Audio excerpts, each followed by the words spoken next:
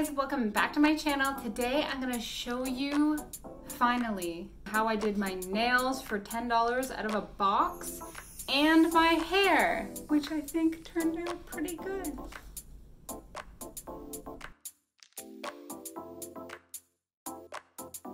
So here are all the items that you need. The first thing is the Kiss Nails Acrylic Nude in the style 64268 KAN03 in the top right hand corner. So you're just going to pop that box open. It does come with a nail glue, but I don't really like it very much because as it says on the box, it lasts seven days, whereas if you use a really good nail glue, it lasts a full two weeks. So I'm to link that down below for you. Actually, I'm to link everything down below. So once you open it, you're just to pop out the nails and line them up with your actual nails to see which ones are gonna fit. Once you do that, line them up in a row so that they're easily accessible for you to apply. Then you're going to pop open the little package that comes with it. It includes a wood stick as well as a nail file. I'm going to use that nail file to buff the top layer of each of your nails. This is just going to apply a little bit more grit to your nail to allow the false nail to adhere a little bit better. Next, this step is optional, but I usually do this. This is taking rubbing alcohol on a paper towel and just rubbing that on your nail bed. This is going to remove any of the dust that you just created as well as just dehydrate the nail a little bit. You're then going to take the cuticle pusher and just push back your cuticle so that you have as much of the nail bed exposed as possible.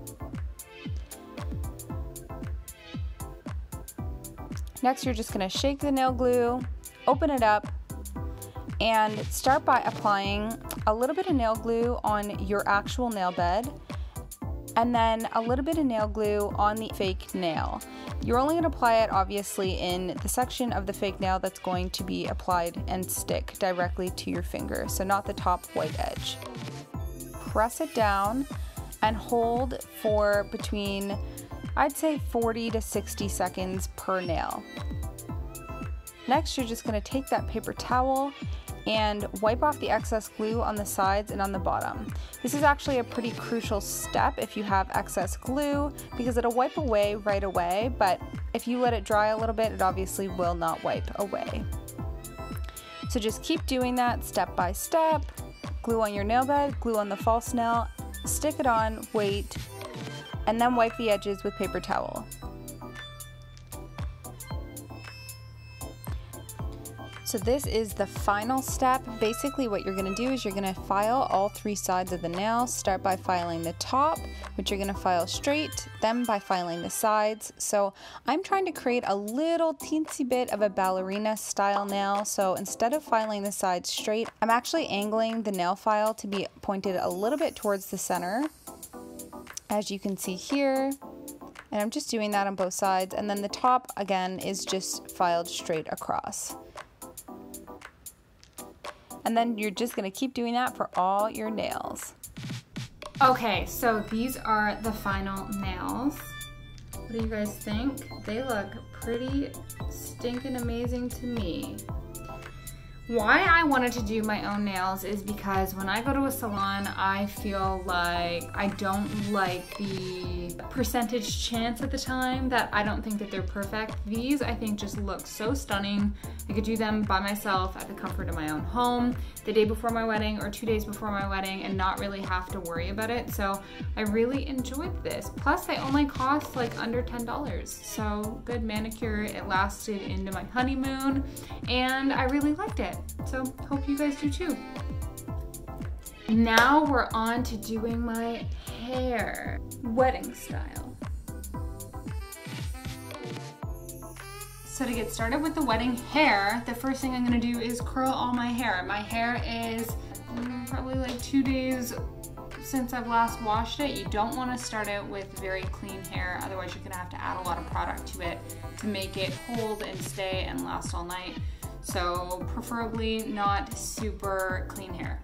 Um, so I'm gonna use, I think this is a one and a half or maybe a two inch curling one, and that's what I'm going to be using to curl my hair.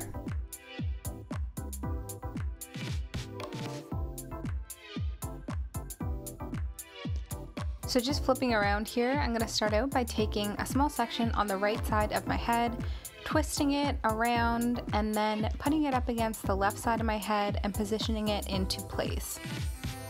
I'm then going to grab a bobby pin or two, actually two in this instance, and just pin it into place. You want to make sure that it has a really strong hold because it is the first section of hair that's going to act as the base.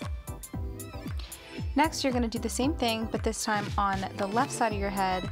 Grab a section of hair, twist it, place it over the previous twist, but then tuck it under a little bit, and then grab another two bobby pins and pin it into place. Next, I'm going to take the section on the right side of my face, twist it back, and do the exact same thing. So just over the previous section and then pin it under the left section. And just a quick tip here is you want to make sure that you have a mirror in the front of you and in the back of you so that you can actually see what you're doing instead of just going based on how it feels. And then the final section here is taking the section right at the front of the left side of my face, twisting it back over the previous twists, and then tucking it under a little bit and pinning that into place. And again, using two bobby pins because I really want to make sure it's secure. Really just take your time with it and look at what you're doing and what it looks like as you go along. The next thing you're going to want to do is see if there are any sections that need puffing up. The extra volume looks really nice in the hair, so just see if there's any sections that need that extra volume. And then finally, you're just going to hit it with some hairspray and voila!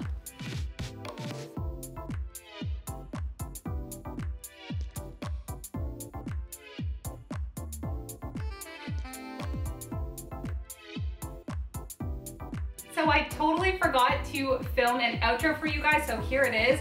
Let me know down below the nails or the hair, which would you do for your wedding? Or would you do neither? If you like watching this content, if you like me or you learn anything, then why not check out my Instagram at DIYDalia with an underscore at the end or subscribe to me on YouTube because then you'll get weekly doses of this exact content. Okay, thanks so much for watching. Until next time, bye!